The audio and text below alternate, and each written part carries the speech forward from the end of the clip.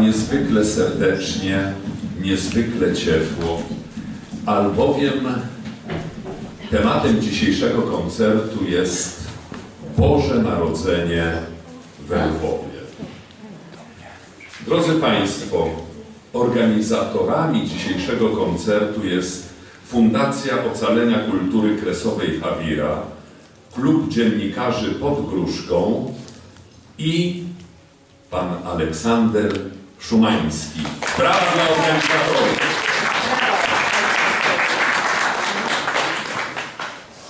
W dzisiejszym koncercie w pierwszej części wystąpi zespół Hawira wraz z przyjaciółmi, natomiast w drugiej Franciszek Makuch.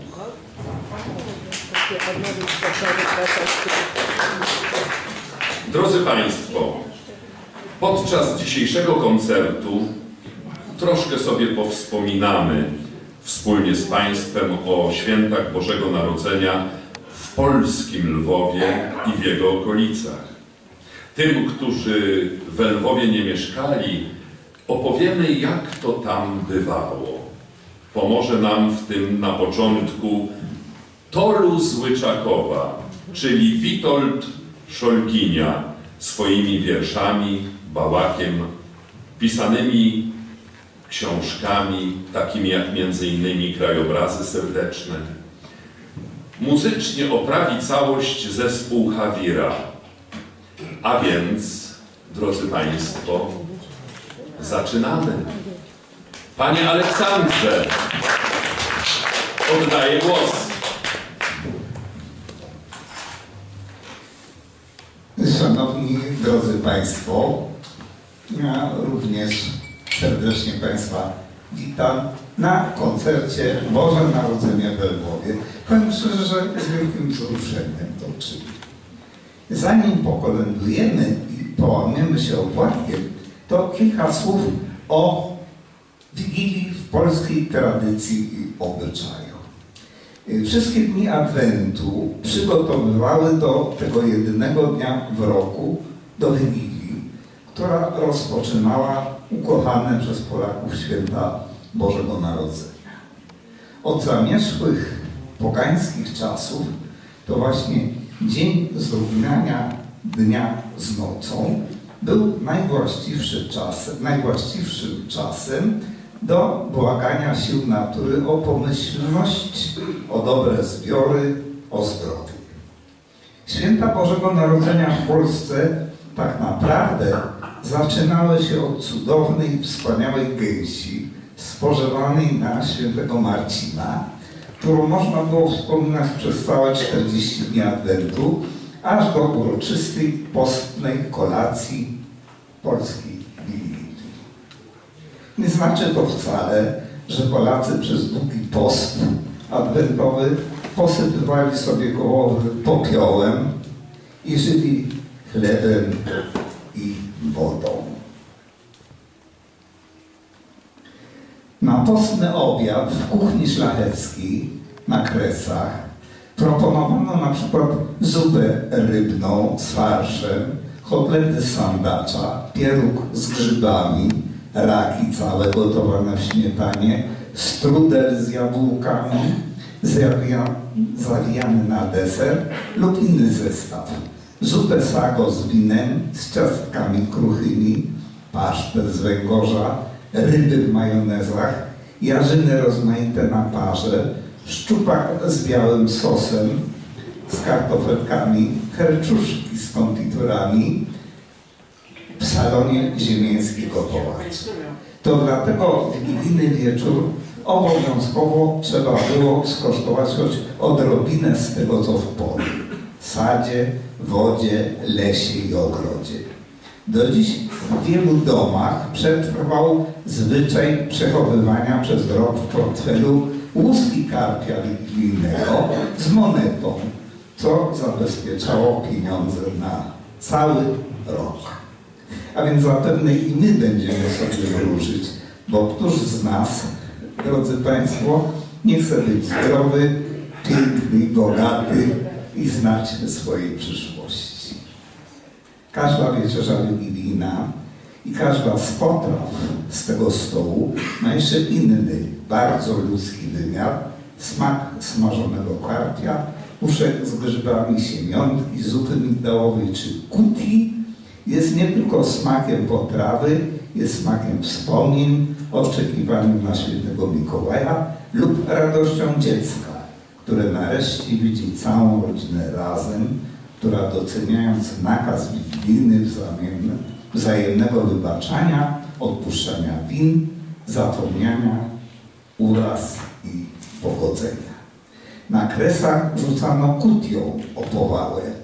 Z drżeniem czekano, czy aby nie odpadła.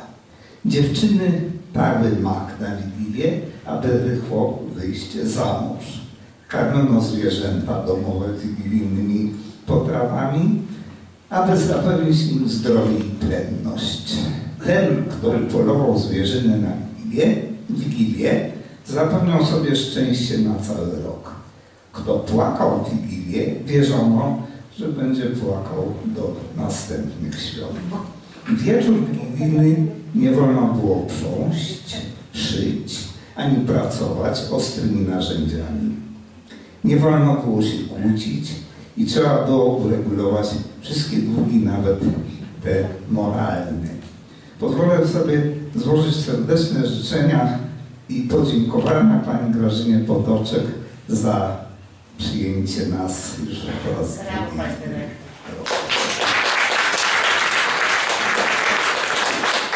Proszę Państwa, jeszcze mam taką ciekawostkę dla Państwa. Będziecie na pewno radzi. Zaprosiliśmy na dzisiejsze Boże Narodzenie we Lwowie poetę Franciszka Klimka, którego nie trzeba przedstawiać. Wszyscy go znają. Napisał wiele książek o kotach. Dla przykładu, koty są dobre na wszystko. Gdy, kot przebiegnie Ci drogę, to są oczywiście tytuły i bardzo wiele innych. Ja powiem Państwu szczerze, że poezją zajmuję się od 10 roku życia jeszcze nie spotkałem poety, który potrafił kilkaset albo kilka tysięcy, bo ja nie wiem, wierszy napisać wyłącznie o kotach. To jest naprawdę wielka sztuka. Nie jest Klimek jednak poetą monotematycznym, piszącym wyłącznie o kotach. A najciekawsze dla mnie są jego limeryki, drukowane też w książce, tym razem limeryki, tytuł książki. Chyba nie istnieje żadna twórczość poetycka, w której, jak wspomniałem, by zaistniały setki, a może nawet tysiące, jak wspomniałem, kocich wierszy. Mm, Na zakończenie o Klimku powiem Państwu jeden wiersz, który zrobił na mnie szczególne wrażenie jeszcze przed laty. Zatytułowany Życie. Ta niezwykła myśl nie jest od prawdy daleka. Towarzyszy nam zresztą od wielu już lat. Ten, kto ratuje życie jednego człowieka, ratuje całą ludzkość, ratuje cały świat. A ja dodam, choć sprawi to trochę kłopotu, bo będę to powtarzał być może zbyt często. Ten, kto życie jednemu uratuje kotu, uratuje tym samym swoje człowieczeństwo. Dziękuję bardzo.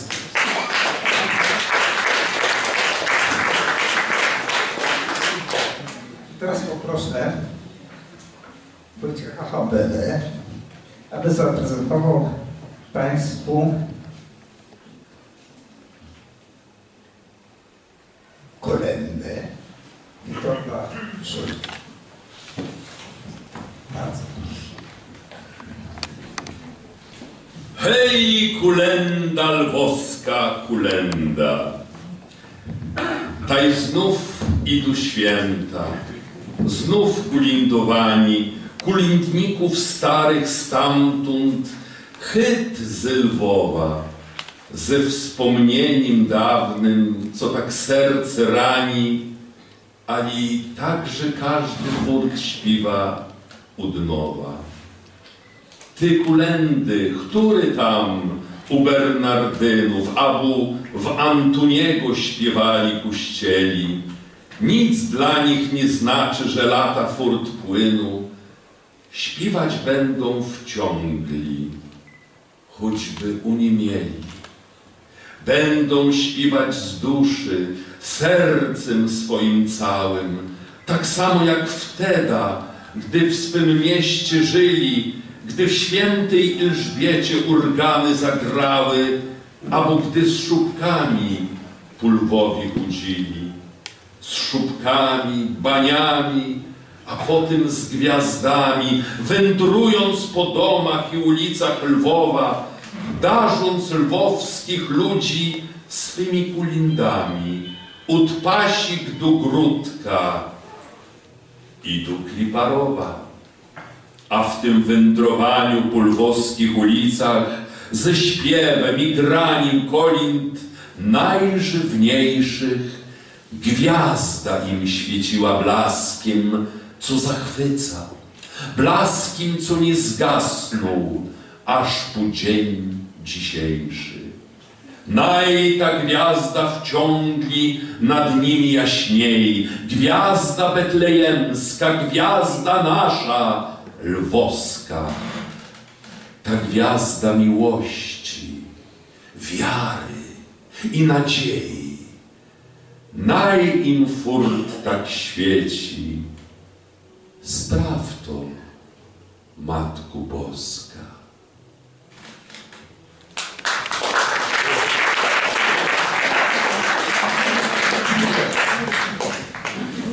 Śliczna gwiazdo miasta Lwowa.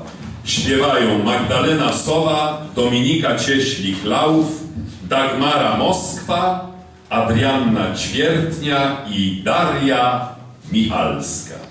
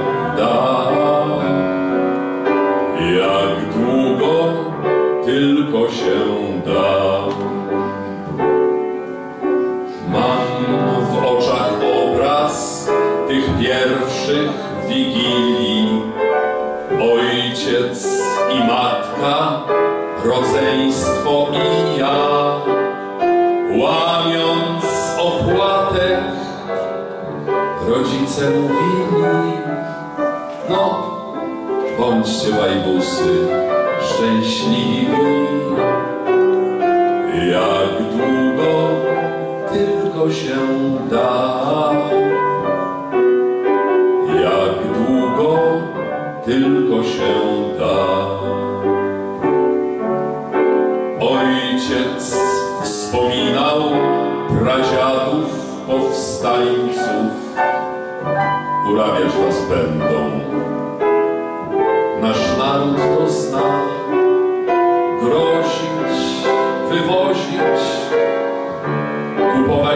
szańców, a wy macie trwać na tym szaleństwie.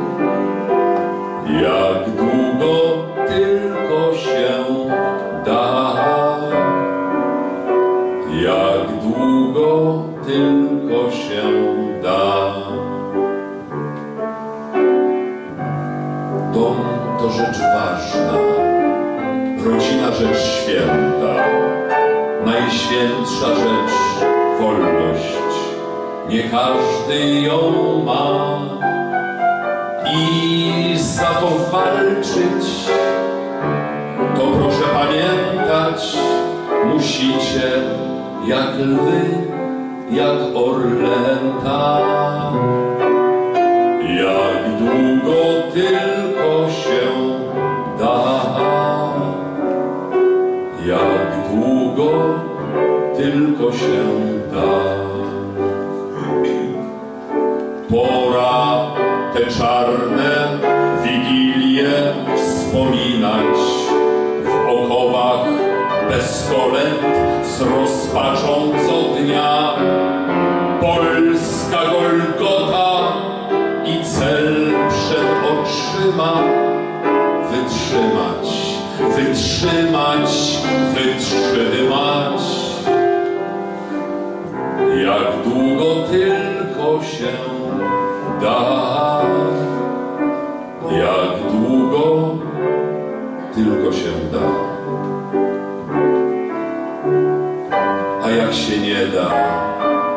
Pamiętaj, rodaku, niech przemoc, niech zdrada, niech znów triumf zła. Polska niedole przetrwała nie takie, a Polak zostanie Polakiem.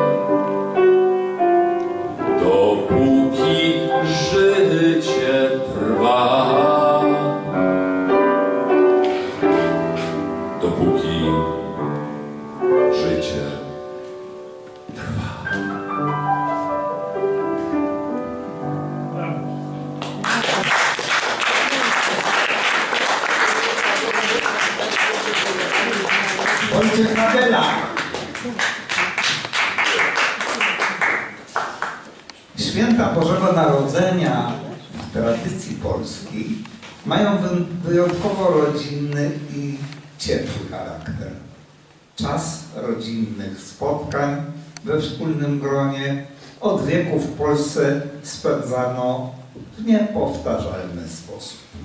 Lwów należał do tych przodujących w tradycji miejsc na polskiej mapie. Już od początku Adwentu kupowało się na targu w Lwowie marszczoną bibułę, siadało się do stołu ze starszymi i robiło z prostej, żytniej słomy długie, kolorowe łańcuchy. Kończyły się wszelkie huczne zabawy, bale oraz przyjęcia.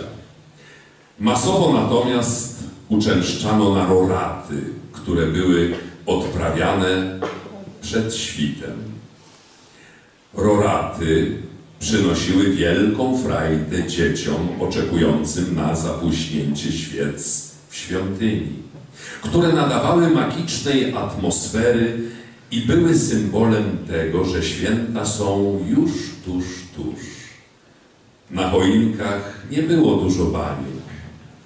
Do kobiet należało zrobienie ładnych aniołków z bibuły, gwiazdek i innych ozdób, wybranie ładnych czerwonych jabłek, przygotowanie orzechów i owinięcie ich sreberkiem.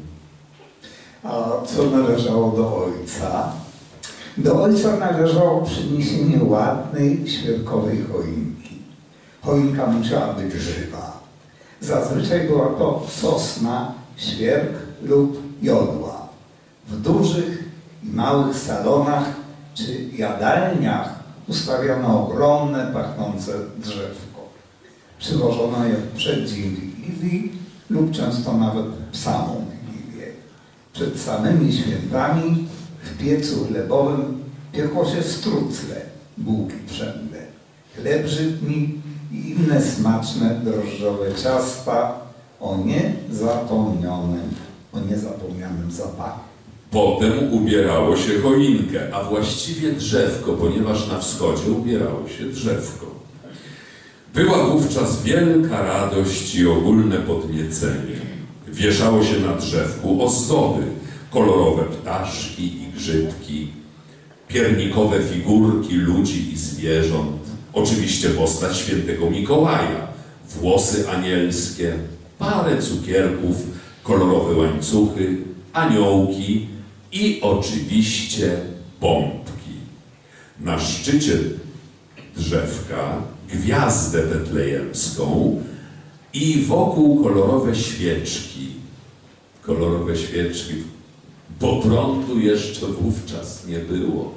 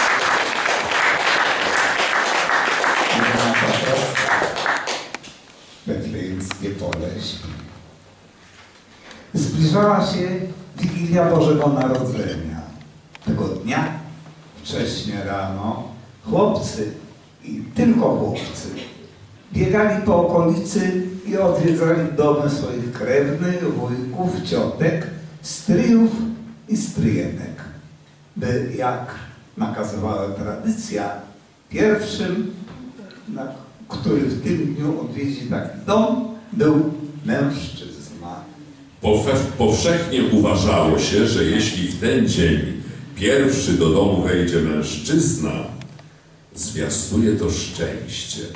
Jeśli kobieta, niekoniecznie. Trzeba nadmienić, że istniało także inne znaczenie tego obyczaju. Pierwszy chłop, krowa się ocieli i będzie byczek. Pierwsza kobieta będzie jałówka. Wchodząc do domu, wypowiadało się te słowa. Hop, hop, przyszedł do was na Wigilię chłop. Oczywiście szczodrzy gospodarze częstowali przybysza pieczywem i paroma gro groszami, które stanowiły dość pokaźną sumę po obejściu domów wszystkich krewnych. W Wigilię nie wolno było nic pożyczać, gdyż przez cały rok pożyczonej rzeczy będzie w gospodarstwie brakowało. Wszystkie czynności związane z gospodarstwem i przygotowaniem wieczerzy musiały być ukończone przed zmrokiem, ponieważ do wieczerzy zasiadano wraz z pierwszą gwiazdką na niebie. Całe obejście i izba musiały być gruntownie wysprzątane.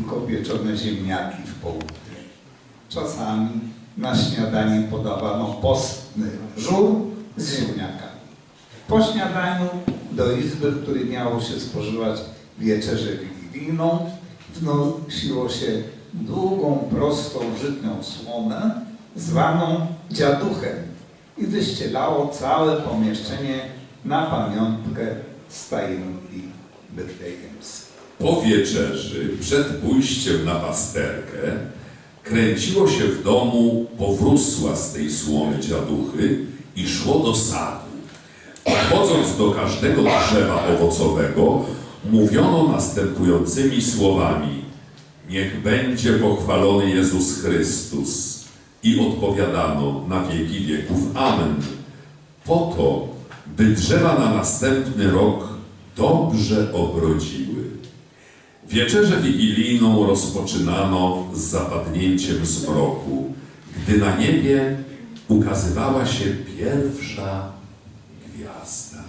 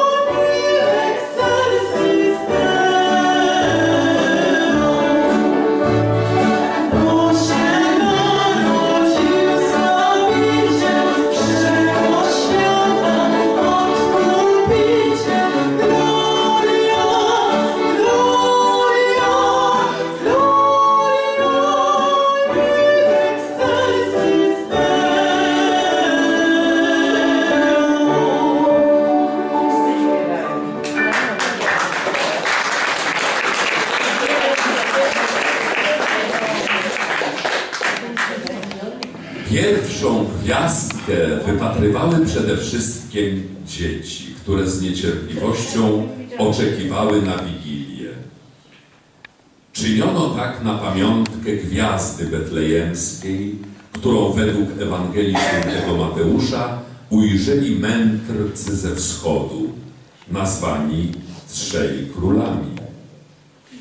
Rodzina w wigilijny wieczór, wchodząc do domu, już od progu pozdrawiała gospodarzy, chwaląc Pana takimi słowami. Na szczęście, na zdrowie z tymi świętami, abyśmy też szczęśliwie odprowadzili, drugich lepszych doczekali.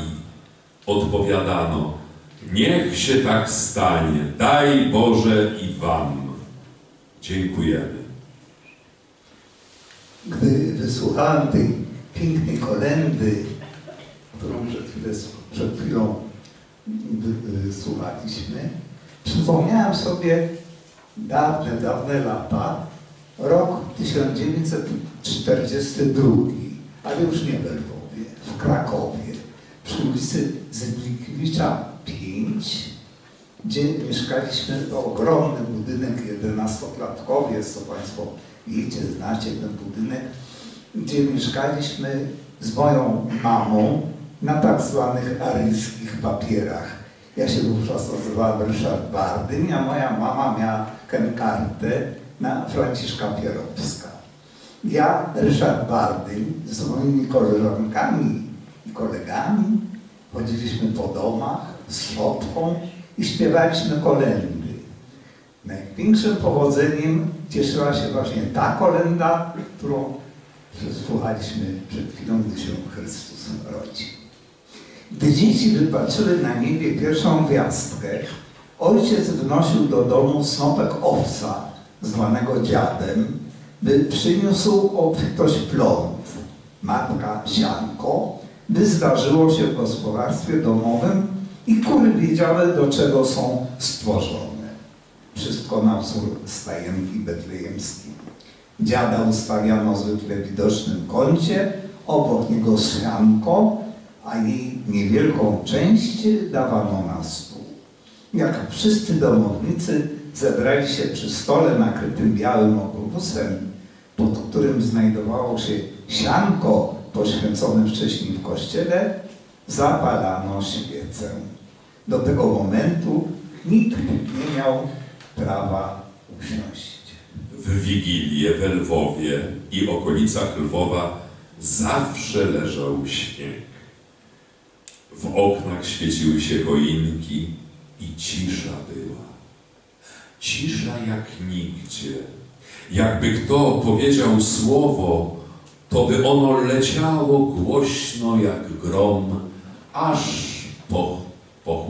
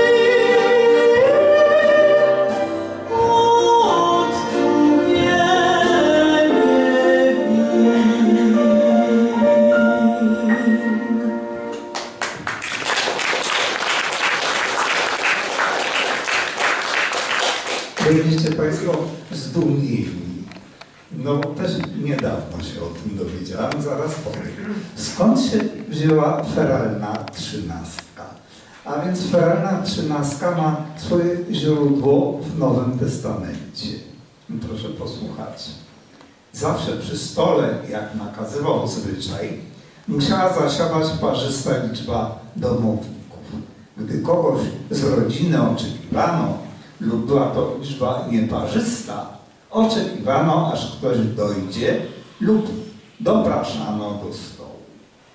I tak jak dzisiaj zresztą unikano liczby 13. Feralna trzynastka wzięła swój początek od ostatniej wieczerzy, kiedy to jako trzynasty przybył Judasz Iskariota. W naszych domach kultywowany jest zwyczaj pozostawiania wolnego miejsca przy stole wigilijnym. Miejsce to przeznaczone jest dla przygodnego, niespodziewanego gościa.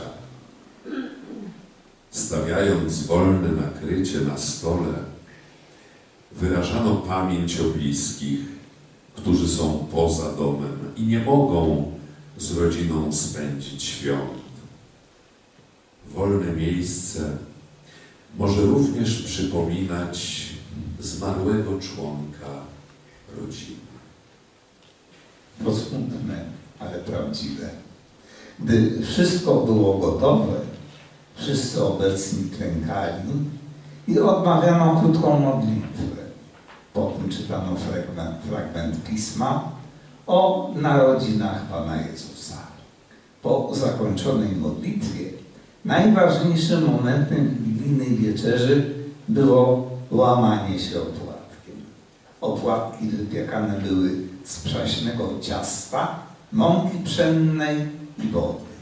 Roznosił je organista lub osoba wyznaczona przez księdza na krótko przed świętami. Opłatki były wcześniej poświęcone w kościele, co było znakiem zachowania wspólnoty parafialnej. Ojciec lub dziadek wstawał, brał opłatek do ręki i wygłaszał krótką mowę, składając przy tym życzenia zdrowych i wesołych świąt wszystkim domownikom. Podawał każdemu część opłatka, by mógł się połamać z innymi. Obowiązywała hierarchia wieku od najstarszego do najmłodszego, aby w takiej kolejności schodzić z tego świata. Każdy brał do ręki opłatek wcześniej, czyniąc znak Krzyża Świętego. Łamiąc się nawzajem opłatkiem, wszyscy składali sobie życzenia zdrowia i pomyślności oraz przepraszali za przykrości i urazy. Dopiero teraz domownicy siadali na wcześniej wyznaczonych miejscach z obowiązującą hierarchią. Kto starszy?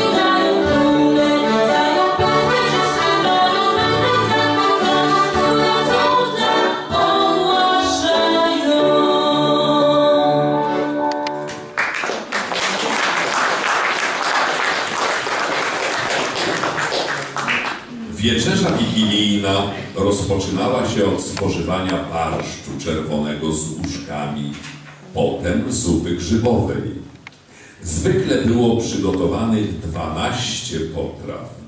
Na stole pojawiały się pierogi z różnym nadzieniem. Ruskie z kapustą, kaszą gryczaną, gołąbki ryżowe, gryczane i ziemniaczane, sosy grzybowy, śledzie w śmietanie, kapusta zasmażana z grochem, kutia, ciasto, strucla biała jak śnieg i oczywiście grzybki marynowane. A obowiązkowo na wigilijnym stole musiała być makówka. Robiło się ją z placka pieczonego na blacie kuchni, który był darty na drobne kawałki. Dodawano do niego ugotowany mak, utarty w donicy, posłodzony i zalany mlekiem. Wszystko popijało się kompotem z suszonych owoców. W trosce o zdrowie i dostatek jedzenia w nowym roku nie należało aż do skończenia wieczerzy przez wszystkich odchodzić od stołu. Po obfitej wieczerzy przystępowało się do kolędowania, zwykle zaczynając kolędą wśród nocnej ciszy.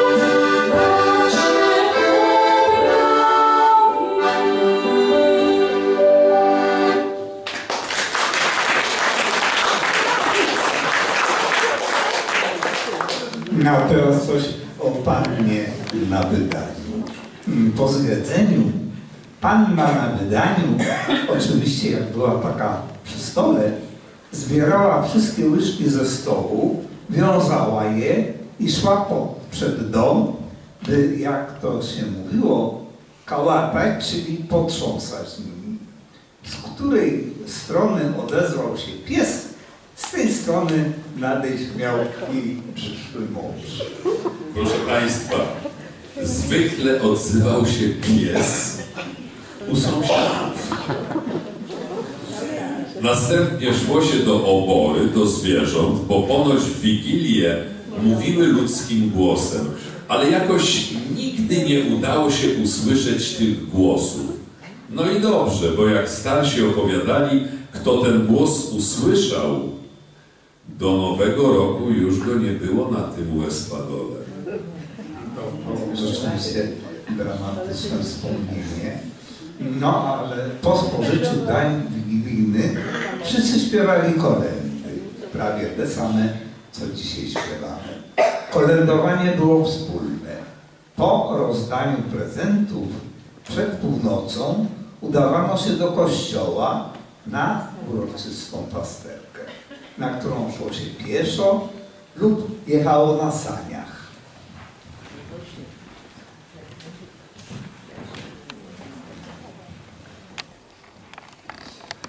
Szłoby,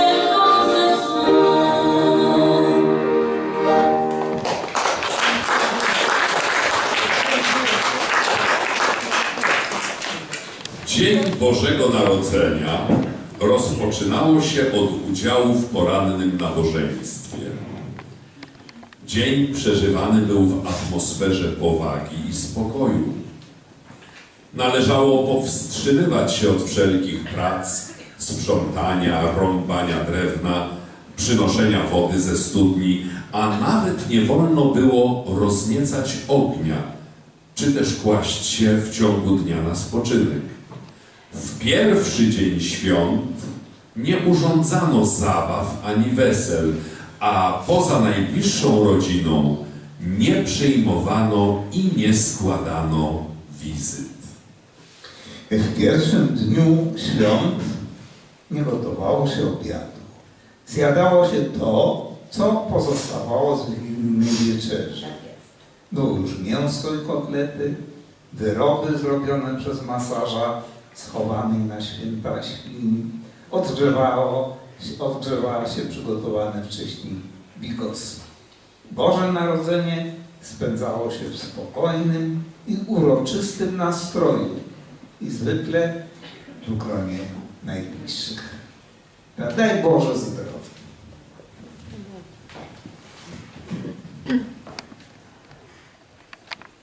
Hej,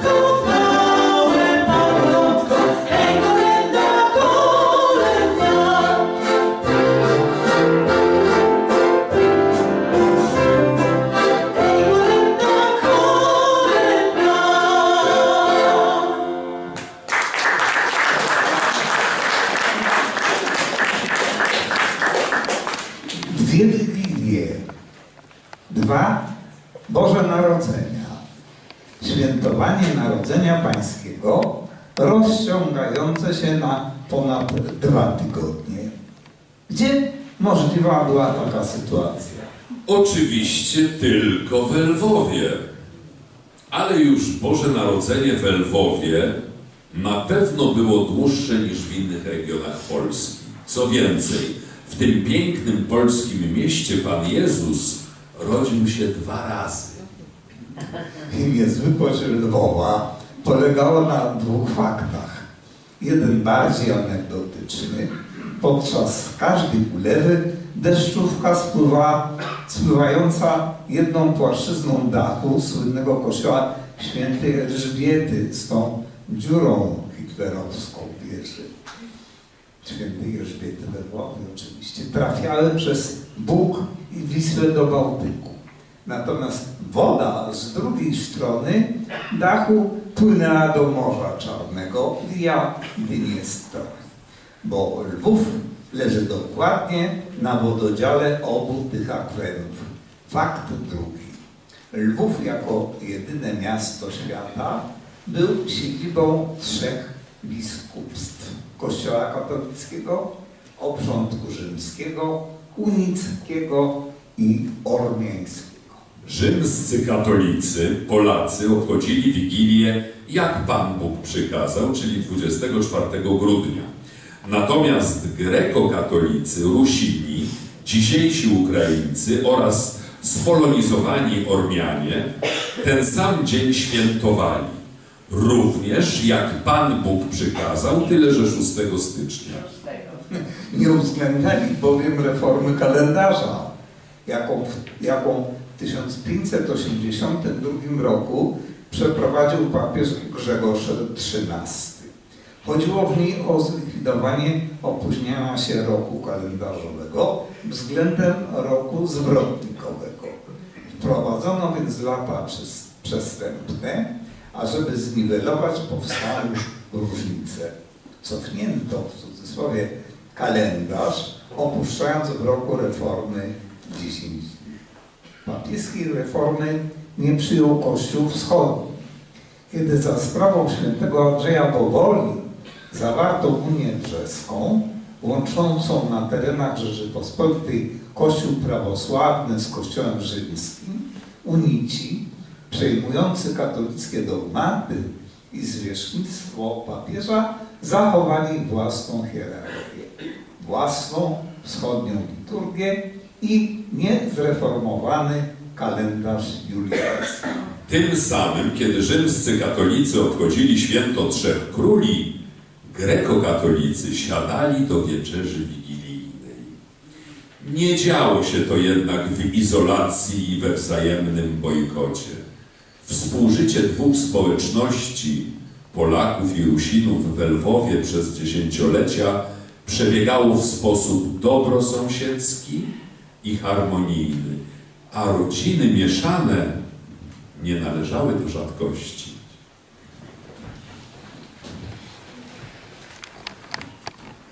Pójdźmy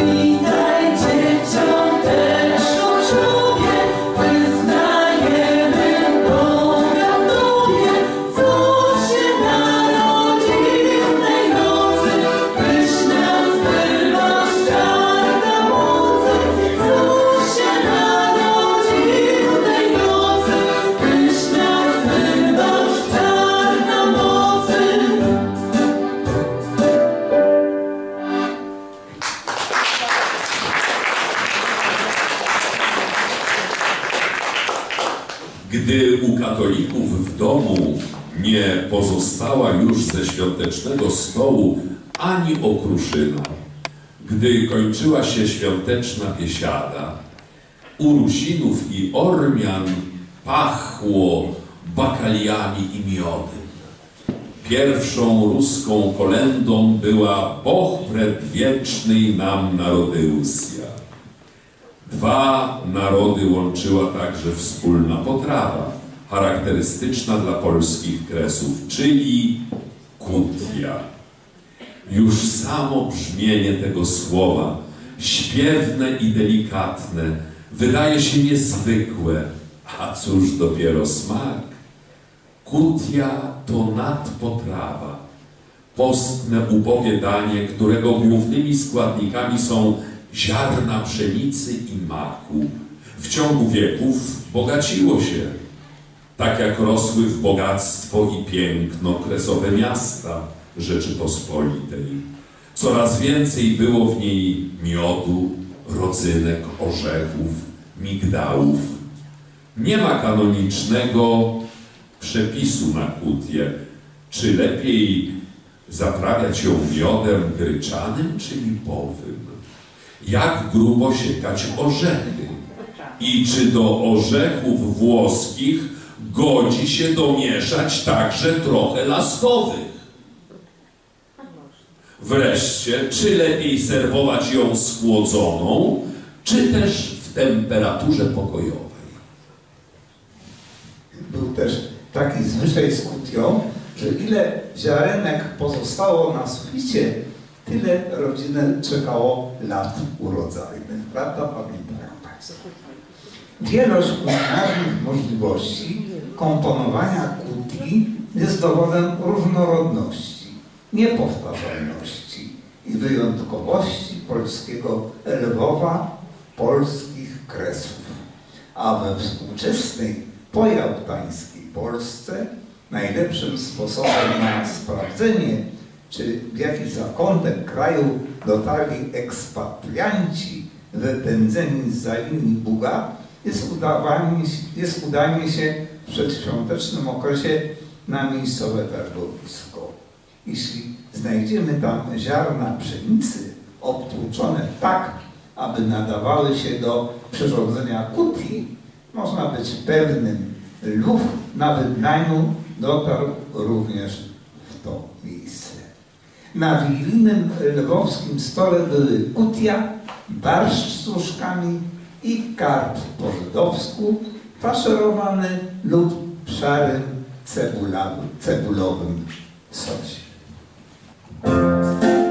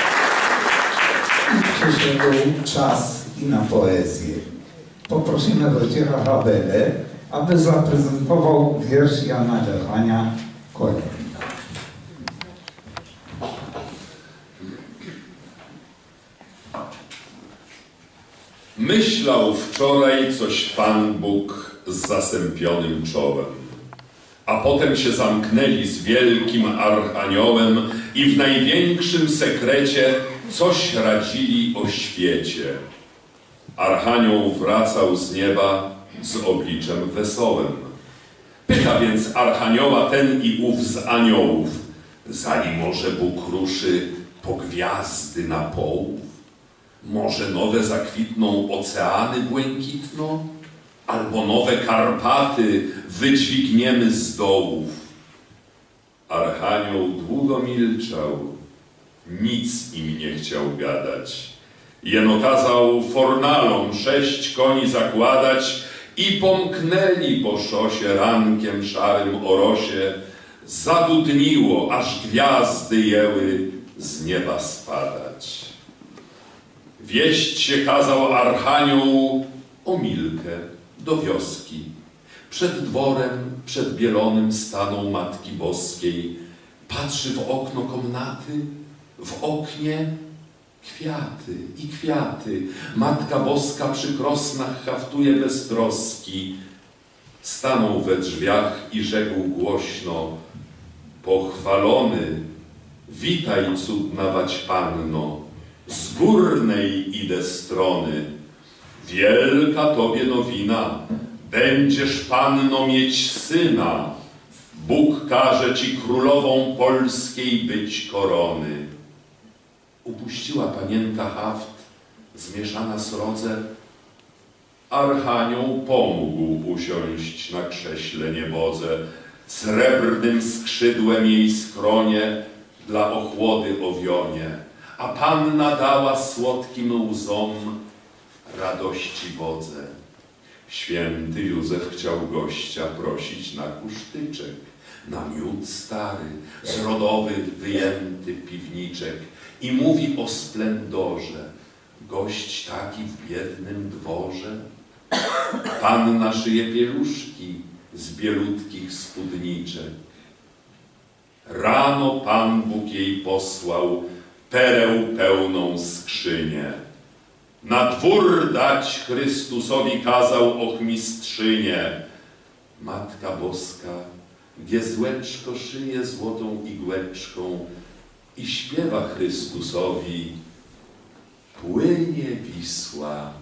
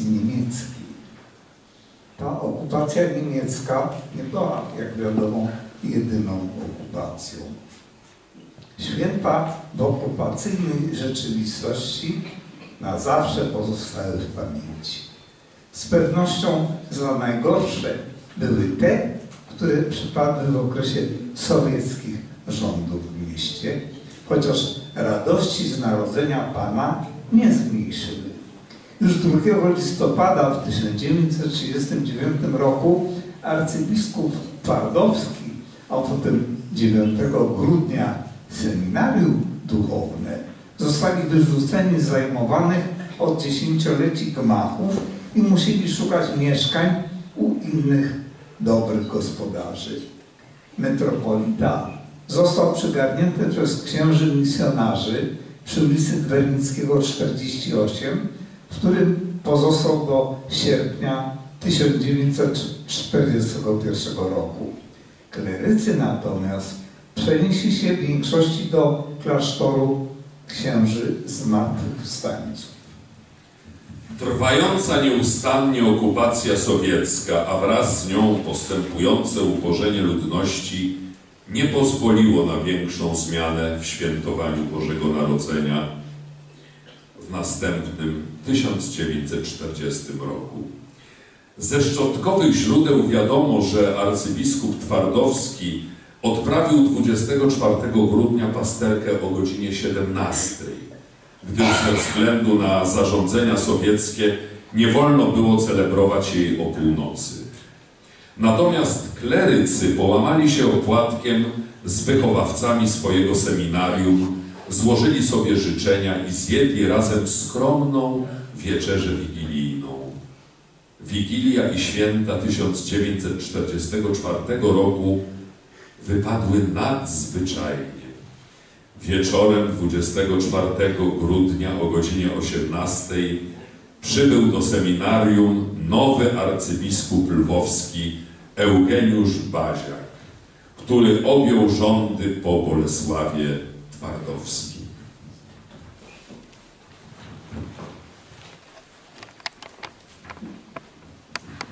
Nie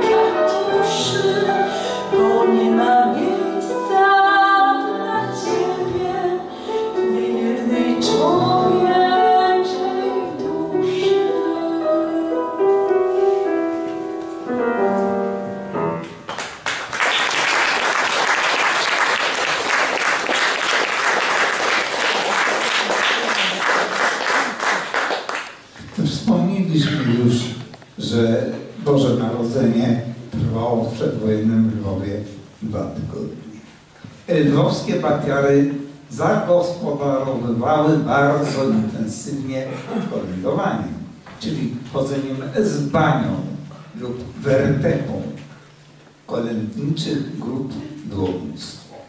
Często spotykały się one niespodziewanie, staczając według, wtedy ze sobą zaciekłe bitwy o rejony działania, których to epilog był dla co młodszych kolędników z reguły żałosny. Najczęściej bowiem kończyły się porażką i utratą najważniejszego rekwizytu szopki, bani lub gwiazd. Atmosfera zbliżających się świąt Bożego Narodzenia odczuwalna była już od dnia świętego Marcina. Te niecodzienne dni, tak jak dzisiaj, były oczekiwane przede wszystkim przez dzieci. To właśnie wtedy pojawił się we Lwowie pierwszy śnieg. To z tego powodu zrodziło się popularne wówczas przysłowie Święty Marcin przyjechał na białym koniu. Niedługo potem nadchodził czas na pełne wróżb Andrzejki, a potem Adwent. Był to okres pełen radości oraz powagi w oczekiwaniu na te jedyne w swoim rodzaju święta. W pełni odczuwało się atmosferę zbliżającego się Bożego Narodzenia, a odczuwało się ją już 6 grudnia, kiedy pojawiał się święty Mikołaj, a nie żaden hollywoodzki komercyjny krasnal ateista. Wkrótce nadchodziło Boże Narodzenie, kulminacyjny punkt Adwentu. W tym okresie w Lwowie wszystko pokryte było już grubą warstwą śniegu, a temperatura spadała nierzadko do minus 20 stopni Celsjusza, a bywało i mroźniej. W wielu punktach śródmieścia stały kolorowe choinki, migocące wiel wielobarwnymi żaróweczkami. We wszystkich delikatezowych sklepach Skowrona, Lindnera, Teliczkowej, Nowaka i wielu, wielu innych wisiały zające, bażanty, kuropatwy i dziczyzna.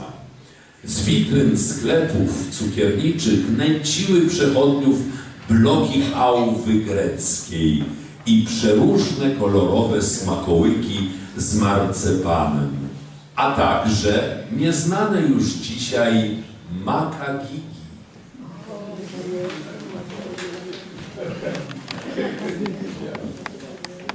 Gdy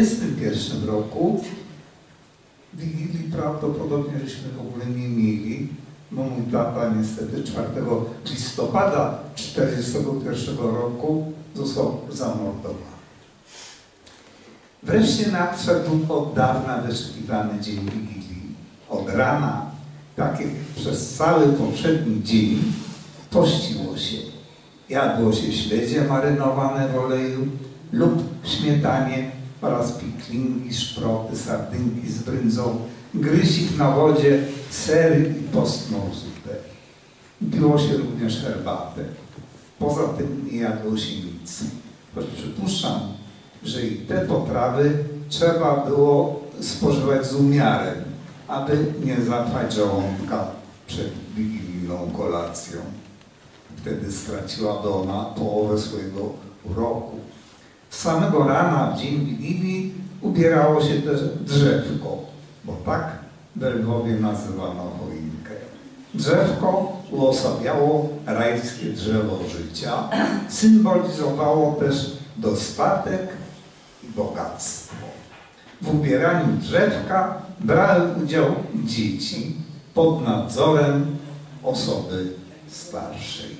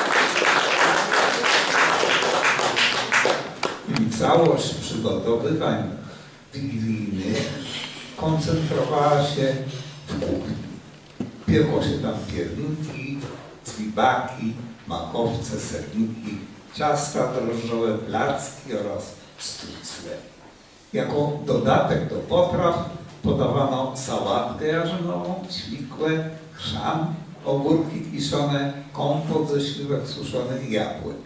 I to również białe, myszalne wino i herbatę. Na dworach wędzono wędzarni świąteczne smakołyki, polędwice, kiełbasy, boczki, szynki, karpie.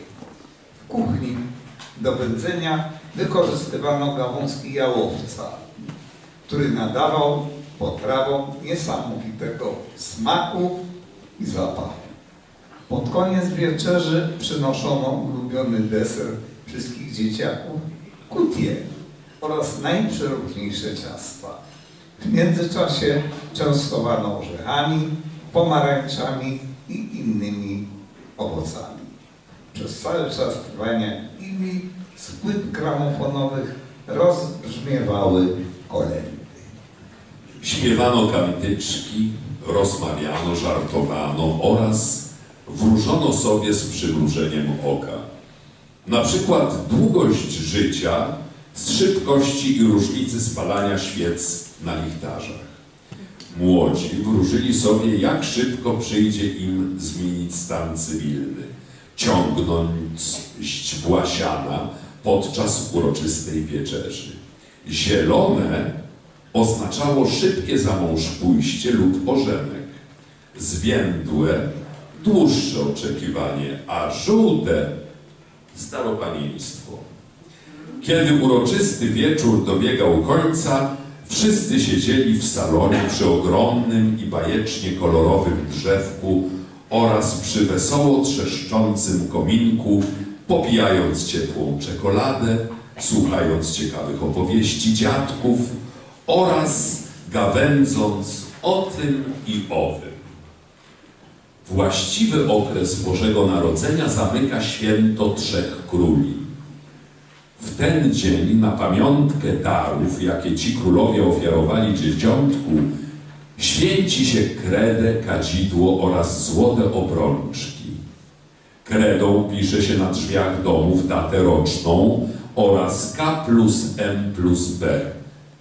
Poprze, mm, poprzedzielane małymi krzyżykami, monogramami Kacpra, Melchiora i Baltazara jak mieli się ci królowie nazywać. Choć tak naprawdę te trzy litery stanowią skrót łacińskiego błogosławieństwa Christus mansionem benedicat i znaczą niech Chrystus błogosławi ten dom.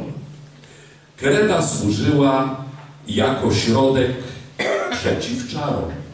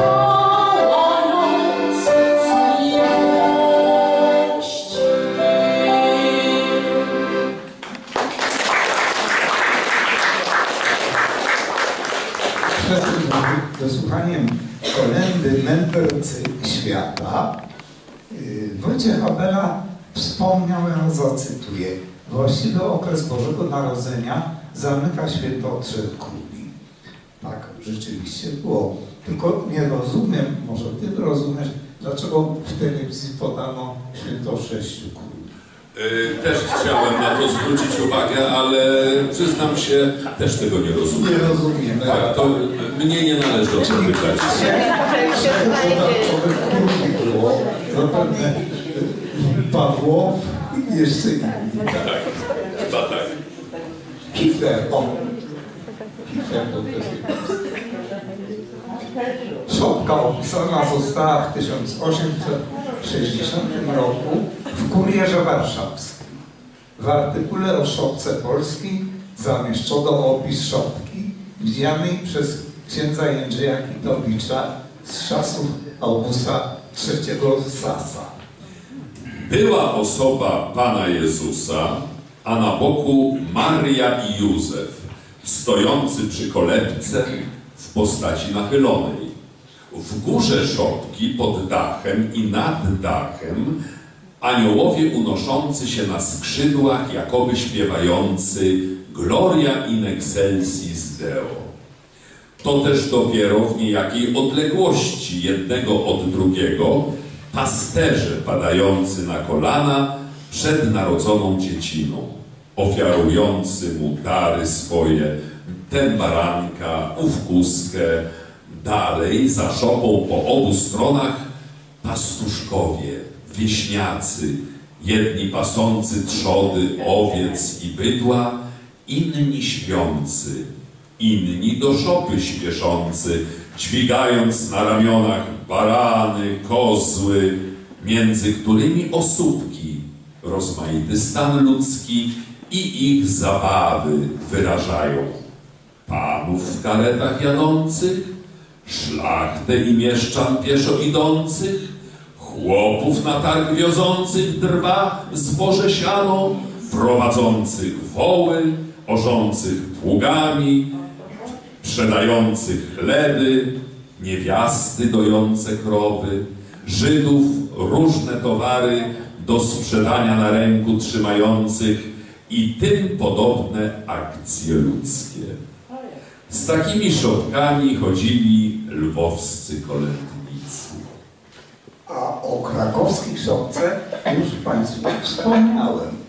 Krakowska szopka znacznie różni się od betlejemskich stajenek. Musi być budowlą wieżową i zawierać charakterystyczne dla architektury Krakowa detale. Najczęściej szopki są budowane na wzór krakowskich kościołów. Szopkarze chętnie odtwarzają fronton Bazyliki Mariackiej oraz wieży kopuły katedry na Wawelu. Oprócz, świę, oprócz świętej rodziny, tradycyjnymi bohaterami krakowskich szopek są Lejkonik, Smok Wawelski, Hejnalista, Krakowiacy. Dzisiaj cywilizacja zep- zepsuła nam już szopkę. Z kościołów przeniosła się ona do tak zwanego cywila, który przystroiwszy się cudacko i zbudowawszy sobie piękne teatrum, przyozdobione jaskrawym papierem kolorowym, pokazuje ludziom różne dziwowiska. Tradycja szopki wywodzi się z jasełek, które organizowano w okresie Bożego Narodzenia w kościołach. Najstarsze figurki jasełkowe przechowywane w Krakowie pochodzą z XIV wieku i znajdują się w kościele świętego Andrzeja.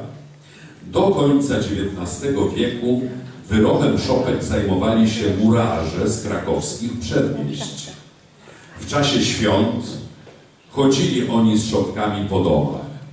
Natomiast konkurs najpiękniejszych szopek organizowany jest od 1937 roku.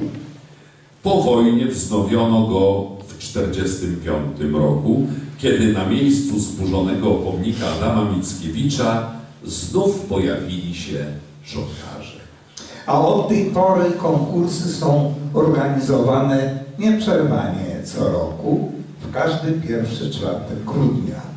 Organizatorem konkursu jest Muzeum Historyczne Miasta Krakowa. Część szopek muzeum zakupuje do swojej kolekcji. Najstarszą w zbiorach jest szopka Michała Ezenkiera, Ezene, Ezenekiera, przepraszam, z około 1900 roku. Szopki krakowskie były prezentowane m.in. na międzynarodowych wystawach w Austrii, Francji, Niemczech, Szwajcarii i Włoszech, a także w Parlamencie Europejskim w Brukseli. Jej konwencjonalną formą, formę ustaliła twórczość XIX-wiecznego szopkarza krakowskiego Michała Esen- Esenegiera, który wprowadził typowy dziś repertuar postaci, a także scenografię inspirowaną architekturą Kościoła Mariackiego i Zamku Wawelskiego. Przez teksty szopki Ezenekiera silnie przezierały aktualności polityczne o charakterze patriotycznym, jak również czytelne parafrazy ówczesnej literatury. Szopka ustanowiła zwyczajowy model, na którego płaszczyźnie można było przemycać wiele treści, zwłaszcza zaś dzięki elastyczności fabuły i postaci dawało dużo możliwości interpretacyjnych. Odwiedziny kolędnie, kolędników były życzliwości, dlatego wypadało się im odwdzięczyć. Dlatego kolędnicy żartobliwie upominali się o dary. Mości gospodarzu, domowy szafarzu, nie bądź tak ospały, każ nam dać gorzały. Trochę alembiku i do niej piernika. Mości gospodyni, domowa mistrzyni, każda z masła faskę i do niej kiełbaskę. Hej, kolenda, kolenda. W 1843 roku ukazał się śpiewnik Pastorałki Kolendy Mioduszewskiego, w którym znajduje się kolenda Lulajże Jezuniu. Tekst jej znany był już w 1738 roku. Ta pierwotna wersja przetrwała do dnia dzisiejszego i minimalnie różni się od wersji współczesnej.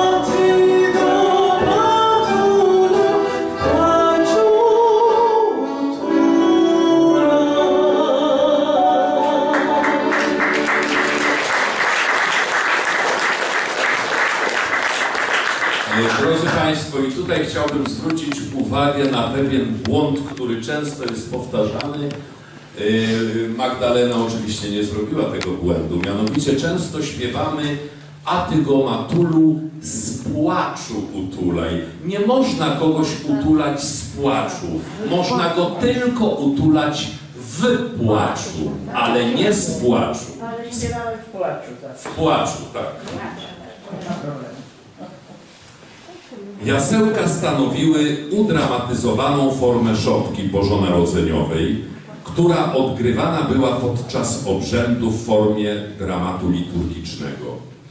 Wywodziły się z okazjonalnej dekoracji kościelnej, jaką była stajenka ze świętą rodziną. Z drugim dniem świąt Bożego Narodzenia, świętego Szczepana, rozpoczyna się okres jasełek. Pierwotnie jasełka organizowane były tylko w kościołach. Za pomysłodawcę i twórcę jasełek i szopki należy uznać świętego Franciszka z Asyżu i zakon franciszkanów. Szopka, przyjmując z czasem konwencję widowiska, została opatrzona dialogami oraz śpiewem. Szopka ludowa, czy też kolędowa, rozwijała się silnie we Lwowie, podobnie jak w całej Polsce. Natomiast w tradycji krakowskiej zakorzeniła się w swojej lokalnej odmianie. Ja przyznaję rację Wojtkowi, że nie z płaczu, tylko w płaczu. Oczywiście, że to jest prawda. To prawda. Ale proszę nie zapominać, że kolendy to jest śpiewana poezja. Licencja poetyka. Już w średniowieczu popularną imprezą parateatralną w czasie świąt Bożego Narodzenia były jasełka, podczas których wierni pod przewodnictwem kleru adorowali dzieciątko leżące w jasłach, czyli żłobie. Stąd nazwa jasełka w asyście rodziców, pasterzy, zwierząt, a w stosownej chwili również trzech króli. Wykonawcy śpiewali pieśni, później nazwane kolendami. W latach niewoli narodowej, a więc począwszy od XVIII wieku, w jasełkach polskich bardzo często pojawiają się elementy patriotyczne, związane silnie z pięknymi kartami naszej historii. Przesłanie tych utworów było czytelne i jasne. Chodziło o podtrzymanie ducha narodowego, o budzenie uczuć patriotycznych, o przetrwanie narodu w trudnych latach, 123 latach zaborów. Z początkiem XX wieku jasełka powróciły do kościołów. W tym okresie powstało wiele nowych scenariuszy, scen narodzin Chrystusa. Najpopularniejsze to Betlejem Polskie Lucjana Rydla oraz Pastorałka Leona Schillera. W obecnych czasach w niektórych kościołach w okresie Świąt Bożego Narodzenia prezentowane są jasełka przedstawienia teatralne, które bądź nawiązują do wcześniejszych realizacji tego tematu, bądź też oparte są na scenariuszu pisanym na podstawie przekazów ewangeliczny, tekst kolendy, na przykład Mizerna Cicha, wzięty jest z pierwszej sceny utworu Teofila Lenartowicza pod tytułem Szopka. A utwór ten pochodzi z 1849 roku.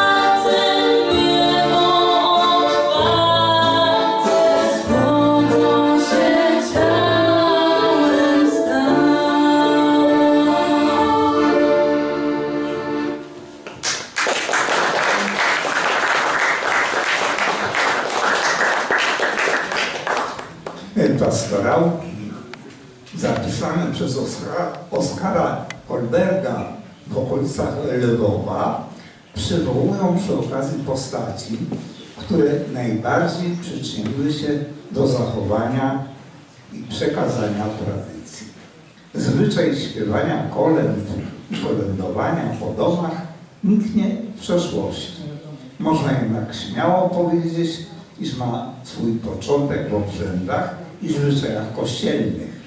Przykładem plebanów na parafiach i spisywaniu wiernych i żaki szkolne ubogie obchodzili domy z gwiazdką lub szopką, śpiewając kolendy, co jeszcze i dotąd w wielu miejscach jest w zwyczaju. Niezwykłe jest bogactwo kolęd polskich i niepospolite są ich wartości artystyczne. Hmm.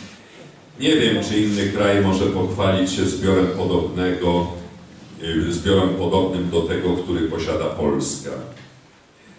Tak, przez laty określił nasz dorobek dziejowy wieszcz Adam Mickiewicz. Już wtedy wiedział, jak ogromną rolę mogą spełniać tradycje w życiu narodu polskiego.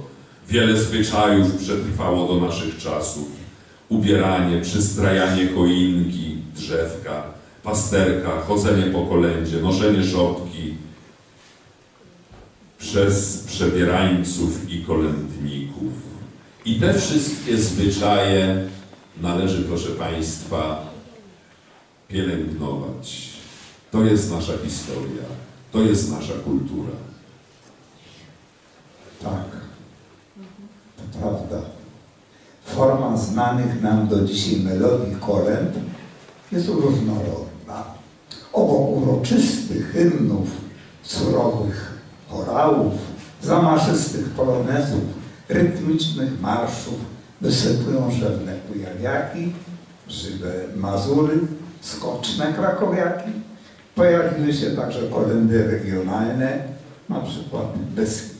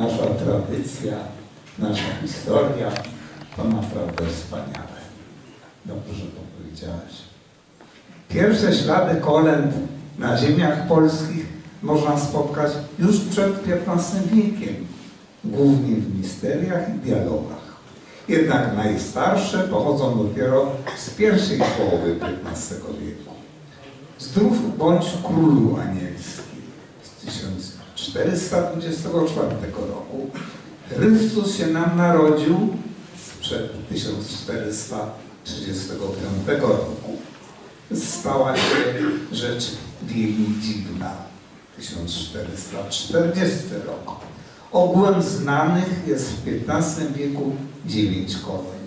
Z XVI wieku pochodzi już około 100 kolęd, a wśród nich tak znana wszystkich kolenda Anioł Pasterzą. Autorami niektórych słynnych tekstów byli wybitni polscy twórcy, a wśród nich Franciszek Karpiński, poeta serca z pokucia. Najbardziej kresowa z polskich kolęd Bóg się rodzi została napisana i wydana w zbiorze Karpińskiego Pieśni nabożne w 1790 roku. Nie zaprzepaśćmy tego, co dokonali nasi przodkowie. Doceńmy ich niełatwą pracę w zbieraniu naszego dorobku artystycznego. Niech w każdym polskim domu w okresie świąt Bożego Narodzenia nie zabraknie tak pięknej tradycji, tradycji śpiewania kolęd i pastorałek. Podnieść rękę Boże Dziecię, błogosław Ojczyznę miłą.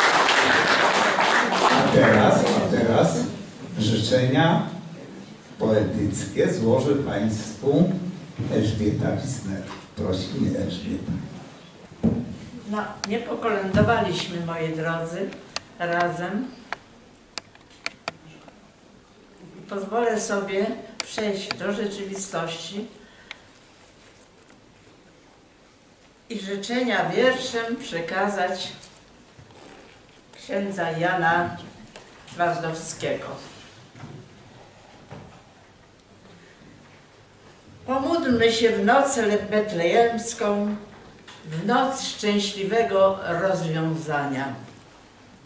By wszystko nam się rozplątało, węzły, konflikty, powikłania.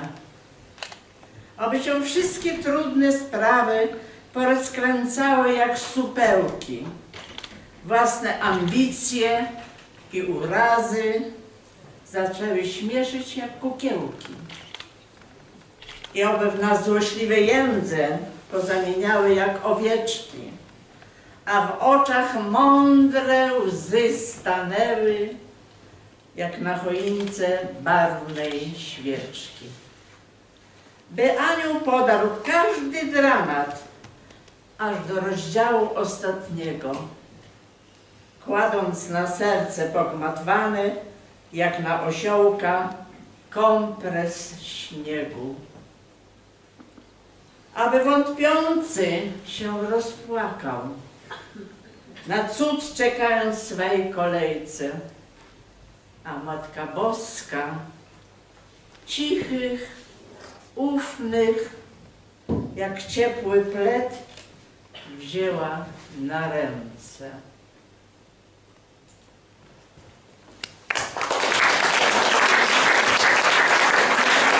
Pani Elżbieta Wisner. Drodzy Państwo, w koncercie Boże Narodzenie w Lwowie wystąpili Irena Paprocka,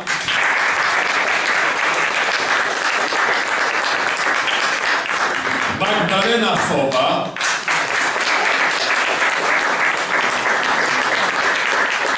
Dominika Cieśli-Klaus, Adrianna Ćwiertnia, Daria Michalska, Jerzy Skrejko,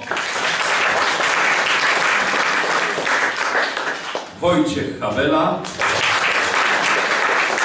i Karol Wróblewski, który pierwszą część dzisiejszego koncertu opatrzył scenariuszem i reżyserią.